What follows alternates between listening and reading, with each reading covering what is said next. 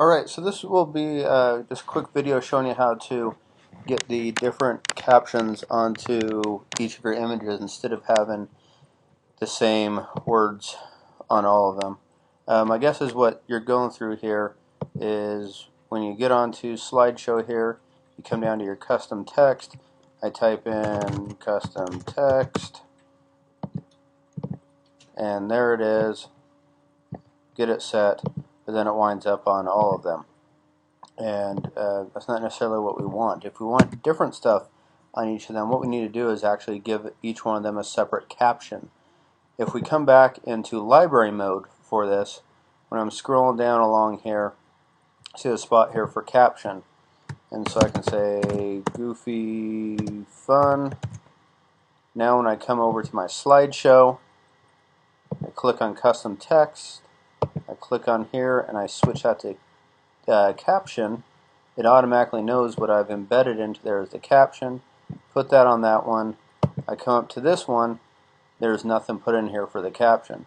So for this picture, now if I jump back to library real quick, I type in sweet photo or, you know, calm moment,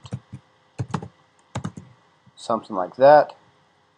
Jump back over to slideshow again it's now automatically there. The nice thing about doing all this as well is if I went to this one and, you know, or for all these, I could go through if I wanted to have what my exposure was on all these. I could attach that onto there if I need to share that with people if I wanted. I can just delete that one. Um, you know, uh, all kinds of stuff. You can come here and edit and you can make whatever it is you want it.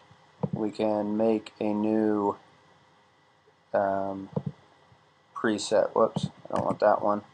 So we can go through here and change all kinds of stuff into here to what we want. Um, keywords if we wanted. So if we wanted to show what all the keywords were on it, we could do it that way. And you can make your own option that would show up on here. But once again, though, we can just go to caption, and since there's nothing there come over here. Come here where it says caption. Type in uh, what is this? Alice golfing. Jump over to slideshow. And sure enough there it is. And get it set. And so you can just go through with each one of those. That way you can have the different words on each of those. Uh, I think this is probably what you were asking about. And I hope that that helps you out. Let me know. Thank you